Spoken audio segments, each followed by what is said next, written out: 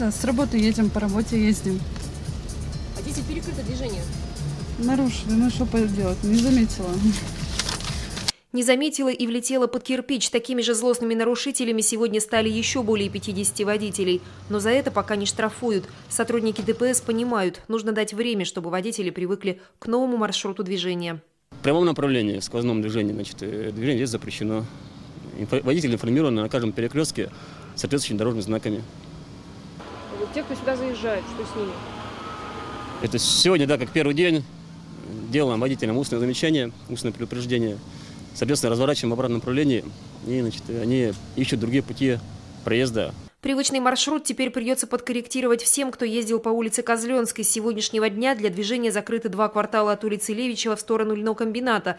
Автомобильный поток перенаправили на Герцена и Советский проспект. Впрочем, троллейбусы здесь по-прежнему будут ездить. Только теперь нужно остановиться на перекрестке и переставить штанги на другую линию. А с утра пять раз делали, а сейчас два раза. Ужасные. Причина всех неудобств – масштабный коммунальный ремонт. Сегодня строители приступили к разрушению дорожного полотна. Вот так экскаваторами они пройдут 400 метров асфальта. Сейчас здесь проводится капремонт э, магистральной тепловой сети э, ТГК-2 Вологодской ТЭЦ. Меняем старую трубу, будем ложить новую. Старые трубы уже пришли в негодность, и аварии стали случаться все чаще. Только за последнюю зиму коммунальщики устранили здесь несколько серьезных прорывов. Каждый раз приходилось отключать горячую воду, а иногда и тепло. Отопление еще более-менее может тер- терпеть. А вот с водой вообще проблема. То ее вообще не бывает, то еще летом отключают.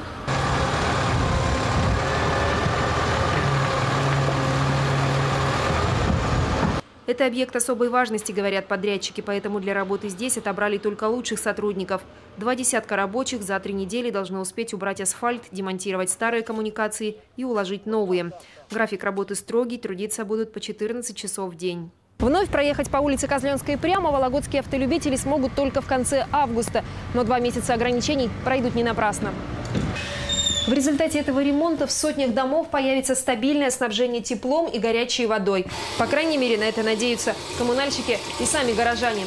Людмила Алексеева, Василий Попорин. Новости Вологды.